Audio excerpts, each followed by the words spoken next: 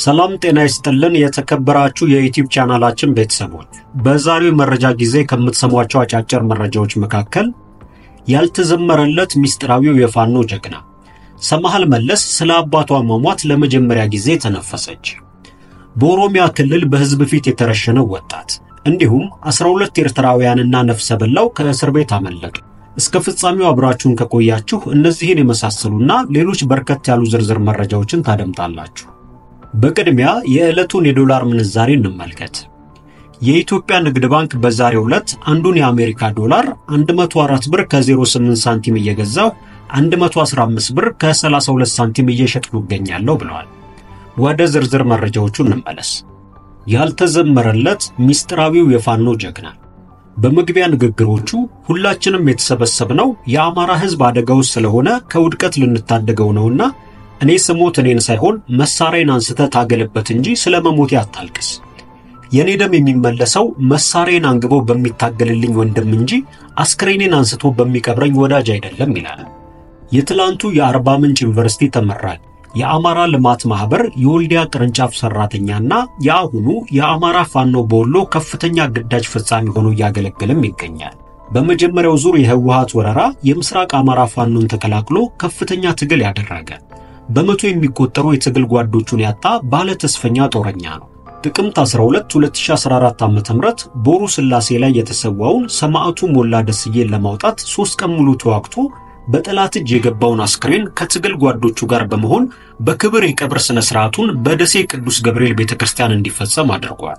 ከወሎ ራያ ሁለት ሻለቃ ይዞ ሸዋ ጣዬ ዙሪያ ላይ የተሰገሰገውን ኦነግን በመታገል ከፍተኛ ገደል የፈጸመ የአማራ ልዩ ኃይልና የሸዋ ህዝብ ደም መላሽ በመባልም ይታወቃል። ከሸዋ እስከ ራያ በእግሩ ተጉዟል። ከነ ዋርካው ምሬ ወዳጁ፣ መስከረም አበራ፣ ዶክተር ወንደሰን አሰፋና ከፕሮፌሰር ሲሳይ አውግቸው ጋር ተረኛው መንግስት አሸባሪ ብሎ ፈርጆታል። ታዲያ ይህ ሰው ማን? በተለያዩ ቦታዎች እልህ አስጨራሽ ውጊያዎችን አድርጓል። በሸዋ አላላ፣ በረሃ ስላሴ፣ ኢምሉና አጣዬ ዙሪያ ከፍተኛ ተጋድሎ በማድረግ ለአማራ ህዝብ ያለውን ፍቅር አሳይቷል። የትኛውንም የጦር መሳሪያ ፈቶ ይገጥማል፣ ይተኩሳል። ልበ ሙሉ አጠር ቀጠን ያለና እንደ ወጣትነቱ ብዙ ችኩል ያልሆነ ሩጦ የማይደክም ሰርቶ የሚያሰራ ታግሎ የሚያታግል እንዲሁም ወጣትነቱ ያልተፈታተነው ብርቱ ልጅ ነው ይሉታል። ፋኖ በለጠ ሸጋው ይባላል። ከቃል በላይ የጠነከረ ወዳጅነት ያለው ከቃል በላይ የጠነከረ ወዳጅነት ያለው አጋር ታጋይ የሆነ ቁስለኛ እንዲሁም የተሰዋ ጓዱን ጥሎ ላለመውጣት ከጓዶቹ ጋር የተማማለ ለዚህም ደግሞ ተስፋ ማርያም የቆሰለበትንና ማዕረግ የተሰዋበትን አውደ ውጊያ መመልከት ብቻ በቂ ነው። ታሪኩም እንደዚህ ነው። በሦስተኛ ዙር የህወሓት ወረራ ወቅት በአደገኝነቱ በዓለም ሕዝብ የተመሰከረለትን የበላጎ ምሽግን ለመቆጣጠር በሚደረግ ትንቅንቅ ተስፋ ማርያም ይቆስላል። የእሱም መቁሰል የሰማው ማዕረግ ስምንት ልጆችን ይዞ ተዋግቶ ተስፋ ማርያምን ይዞ ሲወጣ ዛፍ በሩቁ በተተኮሰ ጥይት ማዕረግ ቃል ለገባለት ሕዝብ ላይመለስ ይሰዋል። ለዚህም ነው ከቃል የጠነከረ ወዳጅነት ያልኩት። ይህ አማራነት የገመደው የዓላማ ጓድ ከቃል የጠነከረ ነው እንጂ ለይምሰል አይደለም። እንዲሁም በሸዋ አማራ ሕዝብ ልብ ውስጥ ያለ እንቁ ታጋይም ጭምር ነው። ሚያዝያ 19 2015 ዓ.ም የፌዴራል መንግስት ከፍተኛ የፖለቲካ አመራሬን ገሎብኛል ብሎ የስልክ ልውውጥ ቅጂን ጭምር ለማህበራዊ ሚዲያ አሰራጭቶበት እንደነበር አይዘነጋም። የአማራ ክልል አመራሮች አብዝተው ይፈሩታል፣ ተኩሶ አይስትም ይሉታል። ስሙ ሲነሳ ሐሳባቸው ሁሉ ይሰረቃል። ደሴ ላይ አረጋ ከበደ ሳይቀር መስክሮለታል። ህዳር 13 2014 ዓ.ም በዋርካው ምሬ ወዳጆ ትዕዛዝ ከኮሎኔል ፈንታው ሙሃባ ረዳ ውበቱና ሌሎች ጓዶች ጋር በመሆን ምስራቅ አማራ ፋኖን ወክሎ የአማራ ፋኖ አንድነት ምክር ቤትን መስርቷል። ለአማራ ህዝብ ከወሰንና የማንነት ትግል እስከ ህልውና ትግል ከሸዋ እስከ ራያ የአማራ ድንበር ድረስ አኩሪ የጀግንነት ገደልን ፈጽሟል። ወሎን ከአማራ ለመነጠል ፖለቲካዊና ሃይማኖታዊ ሽፋንን በመጠቀም እንዲሁም የአማራ ህዝብ የጀመረውን ትግል ለማቀጨጭ በግልም ይሁን በቡድን ሲንቀሳቀሱ የነበሩ አካላት ትክክል እንዳልሆኑ ለማህበረሰቡ በማስረዳትና በማስገንዘብ ብሎም መግባባት ላይ በመድረስ ረባቦ እንዲሁም ድሬ ሮቃ ላይ ባለሽርጡ ክፍለ ጦር እዚህ እንዲደርስ ጉልህ አስተዋጽኦንም አድርጓል። የወልዲያ ማረሚያ ቤት ኦፕሬሽን ትዕዛዝ ተቀባይና ፈጻሚም ነበር። በ25 ደቂቃ ውስጥ ሶስት ክፍለ ጦር ከነ ሜካናይዝዱ ባለበት ከተማ 670 እስረኞችን ከዋርካው ምሬ ወዳጁ ጋር በመነጋገር አስደማሚ ኦፕሬሽንም ሰርቷል። በአማራ ሳይንት ዴሳ ጓደኛው ፋኖ ይታገሱ ጋር በመሄድ ሰራዊት አደራጅቶ ተመልሷል። በከላላ ልጓማና ገነቴ ላይ ቃኝ ሆኖ ከባድ ትንቅንቅ በማድረግ ከተሞችን መቆጣጠር ችሏል። አሁንም ድረስ የአማራ ፋኖ በወሎ ከፍተኛ አመራር በመሆን አስደማሚ ገድል መፈጸሙን ቀጥሎበታል ሲል ሞዓ ሚዲያ ላይ ጓድ አስማረ ያስቀመጠው ጽሑፍ ያስረዳናል። በሌላ ዜና ሰማሃል መለስ ስለ አባቱ አሟሟት ለመጀመሪያ ጊዜ ተነፈሰች። የቀድሞ የኢትዮጵያ ጠቅላይ ሚኒስትር የአቶ መለስ ዜናዊ ሴት ልጅ ሰማሃል መለስ ትግሃት በተባለ የዩቲዩብ ቻናል ላይ ቀርባ ቃለ መጠይቅ በእንግሊዝኛ ቋንቋ አድርጋ ነበር። ትግራይ በኢትዮጵያ ፌዴራል ግዛት ውስጥ መቆየቷ ጥቅሙ ምንድን ነው የሚል ጥያቄ ቀርቦላት ሰማሃል ስትመልስ ይህን ጉዳይ በ global capital መነጽር እንየው። በዓለም ላይ ትላልቅና ጠንካራ ሀገራት አሉ። እነሱ ላይ ለመድረስ ትግራይ ሆነህ ከምትቆም አደግ ብለክ ኢትዮጵያ ሆነህ ብትቆም ይሻላል። በእርግጥ እንደ አፍሪካን ብንቆም በዓለም ፈርጠም ካሉ ሀገራት ጋር መወዳደር ከባድ ነው ስትል ትመልሳለች። ትግራይ ለብቻዋ ሀገር ከምትሆን በኢትዮጵያ ውስጥ ብትሆን የበለጠ ትጠቀማለችም ብላለች።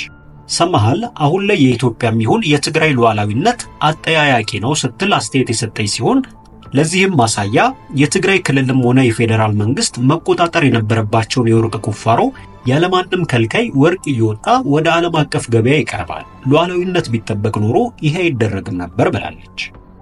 በትግራይ የፖለቲካ ሁኔታ ላይ በሰጠችው አስተያየትም አሁን ያለው ክርክር ምን እንደሆነ አይገባኝም። የፖለቲካ ኃይልን ለመቆጣጠርና ለመያዝ ፍትጊያዎች እንዳሉ ግን እረዳለሁ።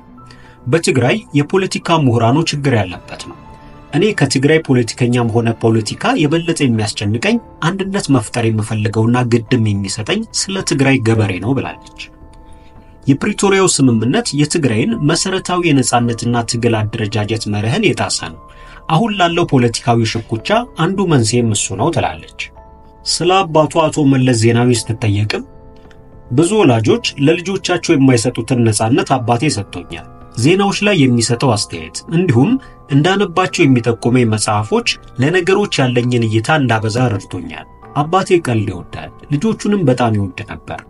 የግል ሕይወቱ ብዙ ሰው የማያውቀው ነው። ስለዚህም ስለ እሱ የግል ሕይወት ማውራት አልፈልግም ብላለች።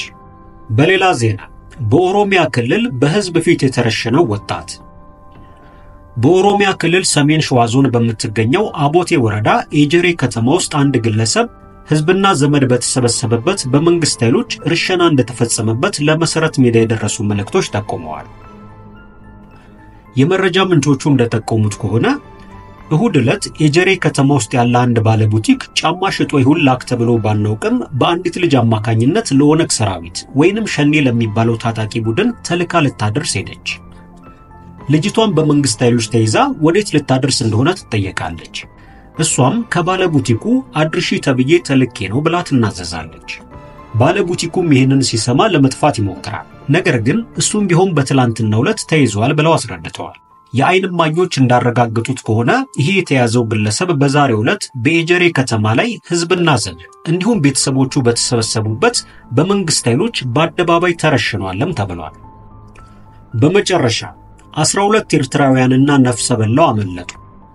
ኬንያ ውስጥ ከአርባ በላይ ሴቶችን በመግደል ተጠርጥሮ ተይዞ የነበረው ግለሰብና 12 ኤርትራውያን ከእስር ማምለጣቸውን ተከትሎ ፖሊስ ሰፊ አደን ማካሄድ መጀመሩን አስታውቋል። ናይሮቢ ውስጥ ከሚገኘው የፖሊስ እስር ቤት ማምለጣቸው ከተነገረው እስረኞች መካከል ሚስቱን ጨምሮ 42 ሴቶችን ገድሏል ተብሎ ጉዳዩ በፍርድ ቤት የተያዘው ኮሊንስ ጁማይሲ ካሉሻ ይገኝበታል። ከፖሊስ ጣቢያው ያመለጡት ሌሎች እስረኞች ደግሞ በሕገ ወጥ መንገድ ወደ ኬንያ ገብተዋል ተብለው የተያዙ 12 ስደተኛ ኤርትራውያን መሆናቸውም ተገልጿል።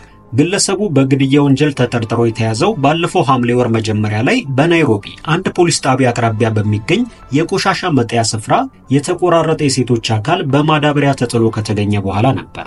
ጉዳዩ በፍርድ ቤት እየታየ ያለው ኮሊንስ ጁማይሲ ከአውሮፓውያኑ 2022 ጀምሮ ሴቶችን ብቻ እየለየ ሲገድል እንደቆየ ቃሉን መስጠቱን ፖሊስ ቢያስታውቅም ግለሰቡ ፍርድ ቤት ሲቀርብ የእምነት ቃሉን የሰጠው ግን በፖሊስ በተፈጸመበት ስቃይ ምክንያት መሆኑን ተናግሯል። በዋና ከተማዋ ናይሮቢ ከሚገኘው ጊጊሪ ፖሊስ ጣቢያ ያመለጠው ኮሊንስ ብቻ ሳይሆን 12 ኤርትራውያን ስደተኞች እንደሚገኙበትና ፖሊስም ያመለጡትን ሰዎች ለመያዝ ፍለጋ ላይ መሆኑን ገልጿል። እስረኞቹ ታስረው ከነበሩበት ፖሊስ ጣቢያ ያመለጡት ማክሰኞ ማለዳ ቁጥጥር በሚደረግበት ጊዜ 13ቱ ታሳሪዎች ከፖሊስ ጣቢያው እስር ቤት ላይ ሾልከው ማምለጣቸውን ፖሊስ በመረጃው አመልክቷል።